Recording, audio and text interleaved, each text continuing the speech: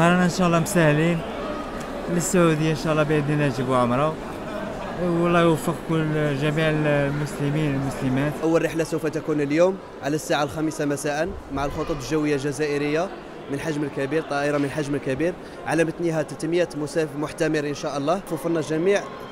جميع الظروف للمحتمرين وهذا بالتنسيق مع شرطه الحدود والجمارك والخطوط الجويه الجزائريه ومديريه الصحه